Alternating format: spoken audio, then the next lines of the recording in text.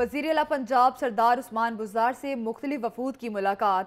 وزیر اعلیٰ نے مسائل کے حل کے لیے موقع پر ہی احکامات جاری کیے۔ اس حوالے سے مزید تفصیلات جانیں گے مجاہد شیخ سے۔ جی مجاہد شیخ، ملاقات کا احوال بتائیے گا۔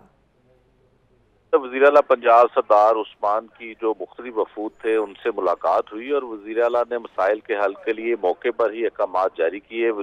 کا کہنا تھا کہ وزیر اعظم عمران خان ہی پاکستان کو اپنے پاؤں پر کھڑا کر سکتے ہیں۔ یہ ملاقات کے دوران انہوں نے اظہار خیال کیا۔ ان کا یہ بھی کہنا تھا کہ پاکستان بدلے گا اور کپتان ہی بدل سکتا ہے۔ ان کا یہ بھی کہنا تھا کہ گزشتہ دس برس کے دوران قومی وسائل کو بے دردی سے ضائع کیا گیا۔ مشکل حالات مستقل نہیں رہیں گے۔ اور ان کا یہ بھی کہنا تھا کہ طریقہ انصاف کی حکومت عوام کی تقدیر بدلے گی۔